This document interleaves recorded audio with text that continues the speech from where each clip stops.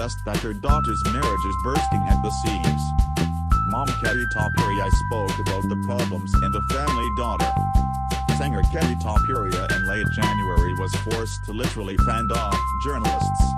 There were rumors about the parting of the actress with her husband Lev Geikhman, about Kate's novel with rapper. The rumors quickly died down, but now the gossips again began to worry about the family crisis. Her husband. Love Lev Geikhman lives and works in the USA. The soloist of the group A studio brings up his daughter and is engaged in a music career in Russia. The situation is ambiguous, but none of the spouses are in a hurry to make a decision about moving.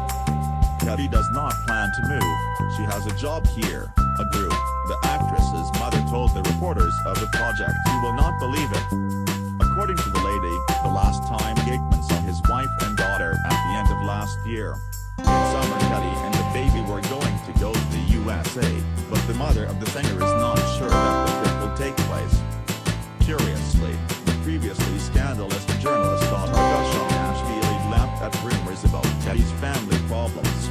I saw the faithful Keti, Lev Geikhman, the third day. He is a magnificent example of an inveterate house builder external and internal problems and enemies, I saw, understands in the manner of Jack Reacher by Tom Cruise Ashvili's. And if you think that he will allow the misalliance of his spouse and some rapper, which means that you either have a state of brain fatigue, I know, is, so the state below which he knows very well, or have delirium, from such as he, Geikhman, live to not go, the more so to the boy, whose qualities are far from being masculine, but also from the most lenient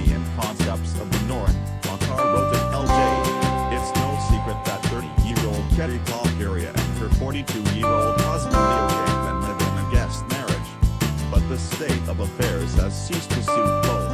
This was reported by the mother of the singer Natalia on the air of the telecast You Will Not Believe It. 1, 2, 3, 15. Lev Geikhman and Keti Topuria.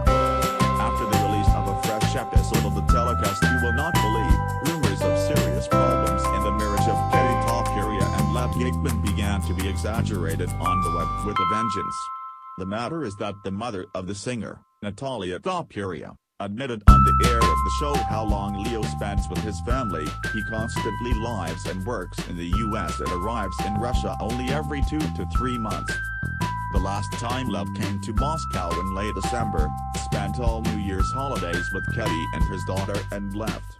They have been married almost three years, and all this time they are met with fits and starts. Olivia sees her father on a case-by-case basis.